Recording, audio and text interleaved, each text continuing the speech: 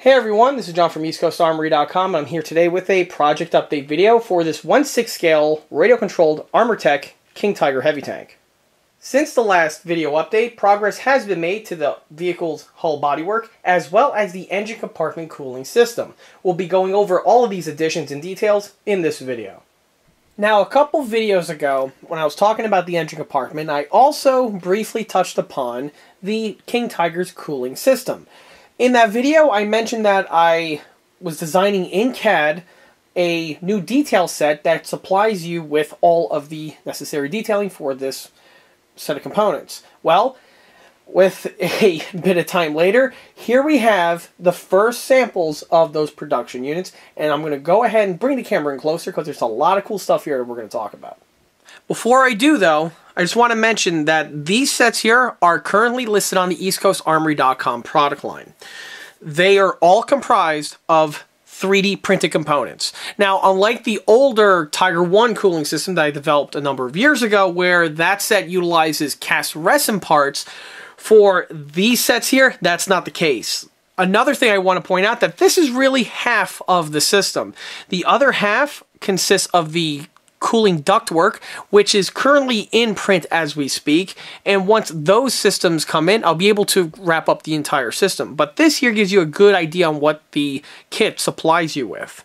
Now, currently, this kit is available for sale on the ECA product line, and it contains the static version of the ductwork, which is more common on the Jagdtiger, but was also used on King Tigers as well. There is another set that is currently in the final stages of pre-production, and once those units are in hand, I'll be able to take more pictures and video of those units, so you get to see the whole unit in person. But before we do, let me go ahead and bring the camera in so you get, get a good idea on what this new set here is going to feature. The first uh, bit of equipment that we're going to showcase are the radiators. Now, the King Tiger utilizes four radiators in total. This is similar in design to what was seen on the Panther, but it's definitely a evolution from what was seen on the earlier Tiger 1. On that vehicle, the vehicle had two very large radiators found on either end of the engine compartment, while on the King Tiger, they shrank down the size of the radiators, but they made up for the surface area loss by just giving you more of them. Again, the same system was also utilized on the Panther as well. Now, here we have the unit. Note the detailing found on the cell portion of the radiator fins. This is also true on the opposite side.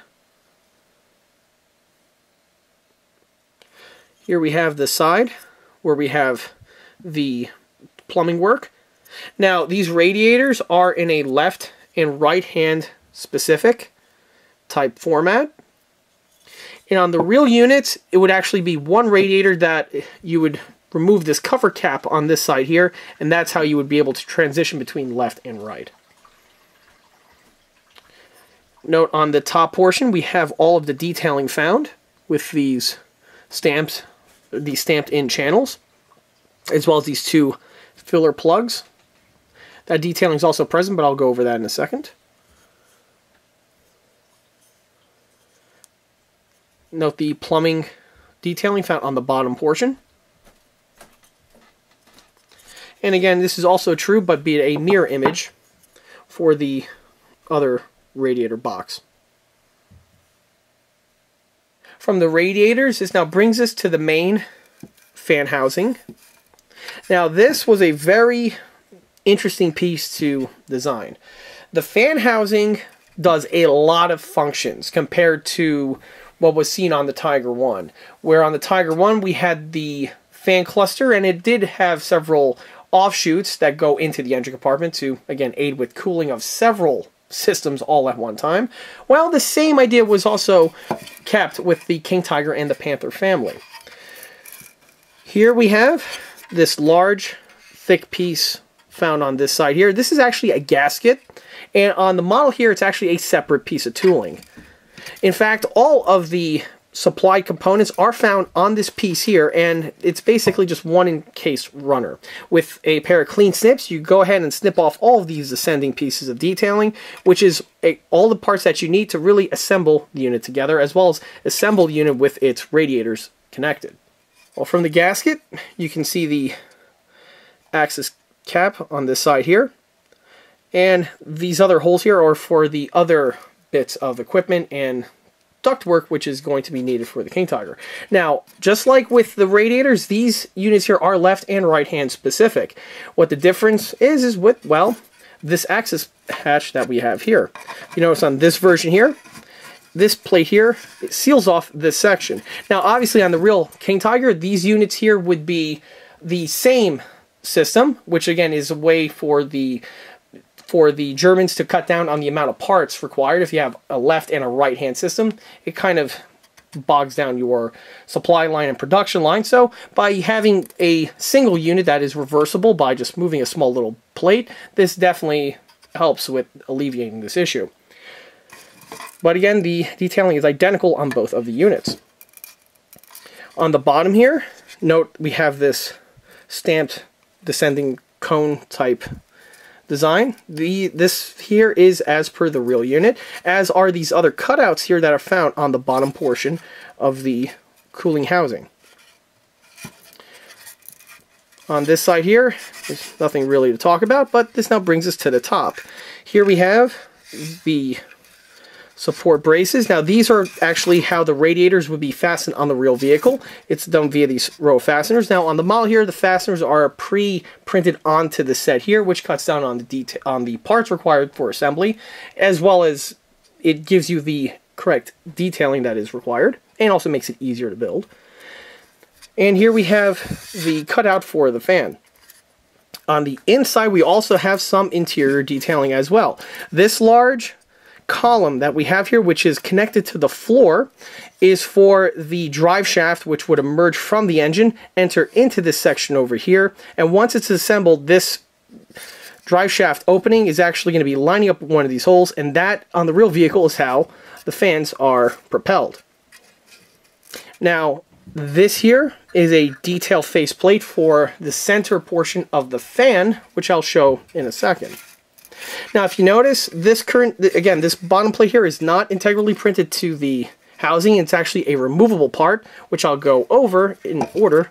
Now, for the fans themselves, just like with the Tiger 1 cooling system that I developed a number of years ago, the King Tiger set utilizes PC cooling fans. These are DC driven and are 12 volt powered, so patching them into the remainder of the tank's electronics is pretty easy.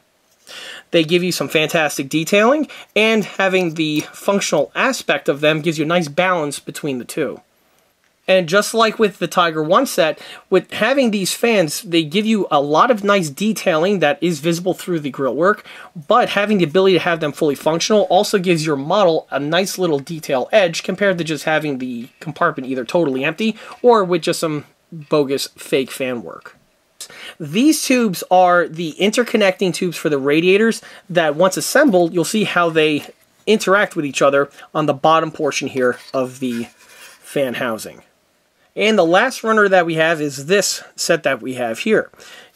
If I could get it in focus, this runner here comprises of the other tubes which are connected on the top portion here of the radiator. Like I said before, there are these two small holes, and these holes are for these valves and and cutoffs that we have on this runner. On the valves, you have the little tube connecting sections that have their little hose clamps detailing integrally printed on. Notice that these are printed in HD specifically to bring out this nice detail that we have here. Once the units are fully assembled, you'll see exactly how all of these parts here interact with each other. And here are the housings now fully assembled and ready for painting.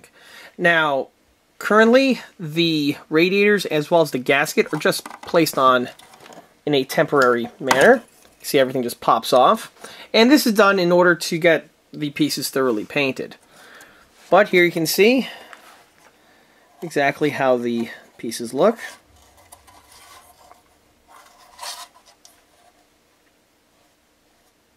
Now, the assembly went together very well. There are a couple little areas where I'm going to make some tweaks to for the final production units, but by and large, the parts are basically ready to roll as is. So that's really good news. Well, here go the assemblies now fully painted and weathered and are going through their assembly process. I just want to take a moment to show some of these pieces off now that they're fully painted because once many of the pieces get permanently mounted, you're not going to be able to appreciate some of the paintwork that went into these. So I guess starting with here the radiator. Here you can see the cores now that they are fully weathered, specifically on both sides. We have some weathering here with the dripping of the fluid as well as I did something similar on top. Now, of course, once the plugs go on, this will complete the look, but more info on that is, of course, to come. There's the second radiator.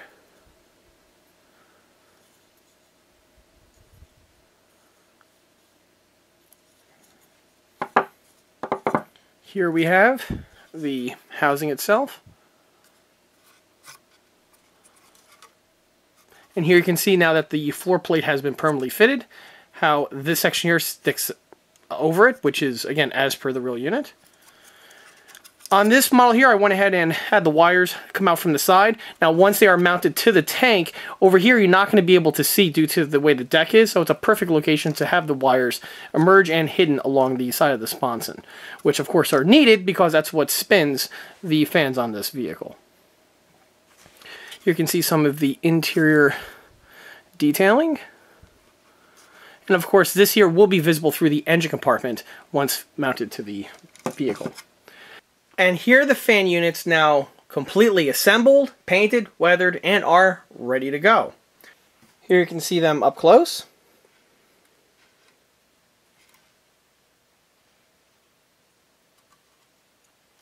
Here we have the rubber gasket now fully painted and weathered. And it really does a good job at completing the look. Note you can see the fan clutch gearbox on the inside. Here we have the radiator. And on the top portion here, we now have the other fittings that have been added to the radiator tops, including the connecting tube. On the side here, we have the fittings. These are the same 3D printed fittings that were showcased earlier, but now that they are fully painted, you get to see how they look. This is exactly how they are from the printing. No other details were added. Note they do have integrally printed on their hose clamps, as well as their top fasteners detailing. And on the opposite side, we have the cut-off version. And there's another one on the opposite side as well. The other system is again identical, which we've seen and I've alluded to several times, but is a mirror image, as you can see from the layout here, of the access hatches. Just like with the remainder of the unit, even the bottoms on these sections here are fully detailed. Here you can see how the cooling tubes go from radiator to radiator. Note the one here in the center has this distinctive zigzag to it to make clearance for the descending section for the fan clutch. And we also have those clearances that I showcased before. Note that the sections here are held in place via these rubber tubes, which are mirroring the look of the hose clamps, which are found on the real units. And these are supplied with the sets. Now, all that's required to finish these off are the additions of the ductwork, which will be mounted to these two locations over here on each of the systems. Once I have the ducts in hand and fitted, the entire unit as one complete subassembly will then be dropped directly into the engine bay of the model. And here we have one of the clusters now temporarily fitted to the tank's engine compartment. Now note how the piece fits perfectly with the Armortek kit. If you'll notice, none of the details or appendages found on the top section here go past this little mounting bracket. That's absolutely important because if it does, it's going to strike or make contact with the top rear deck sections as well as the fan grills which get mounted on these locations over here. Outside of the top clearances, you'll also see ample section space on the inside here for the ductwork, which again, like I mentioned before, is currently in the works and should be added hopefully soon enough after the upload of this video. Even at this point, however, you can see how the rear section of this model is really beginning to start filling out and fleshing in with all of its detailing. Currently, I'm wrapping up the remainder of the engine compartment detailing for this section over here, namely the two fluid tanks which are located in these two sections here of the center compartment. Of course, more information on this is to come in a future upcoming video update. In addition to the fan cooling system, I've also been working on the tank's exterior bodywork detailing. This would include the deletion of the fastener holes that are located on the side of the armor plates, as well as adding the weld beads to their appropriate locations. Let me bring the camera in closer, and then you can see exactly how much the models progress in this regard. Here we have the side armor plate. Note the fastener holes have been blended thoroughly and are nice and flush with the side armor. On the rear section here, you can also see how this has progressed. In the earlier videos, in the section over here, there was a big wad of epoxy. That wad has been sanded away, revealing just the section that we have here in the middle. The torch cut lines were sculpted into this section, and the weld beads were then added. This completes this area here of the build. The same procedure was also done to the opposite side of the vehicle as well, along with the deletion of the other fastener mounting holes that I mentioned earlier. Back to the front of the model, here you can see the welds added to the front armor section. The welds were also added to the remainder of the puzzle type surfaces, which are found on these King Tigers here on the front and lower front armor hull plates. And this also includes the welds added to the bow machine gun ball.